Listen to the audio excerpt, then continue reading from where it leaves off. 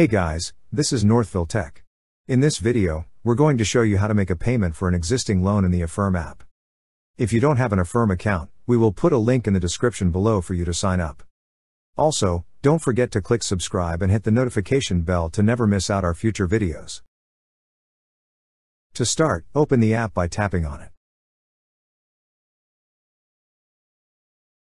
Once the app is open, you will see several options at the bottom part of the screen. Tap on the option that says Manage. On this screen, you'll see your current loans. Tap on the loan you wish to pay. Next, tap on the Make a Payment button. Here, select the amount you wish to pay. Or you could enter other amount. Also, select a payment method. But if you haven't added a payment method yet, tap on Link your bank account manually, or add a debit card. Then follow the on-screen instructions. In this case, we're going to add a debit card as a payment method.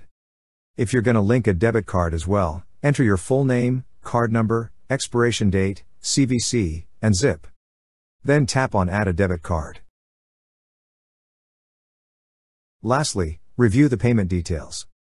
If everything's good, tap on the Pay button. And that's how you make a payment for an existing loan in the Affirm app.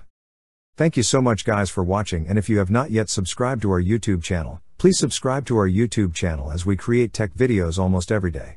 Also check out our website northvilletech.com for great tech articles, and our recommended resources in the description below for various sign up bonuses.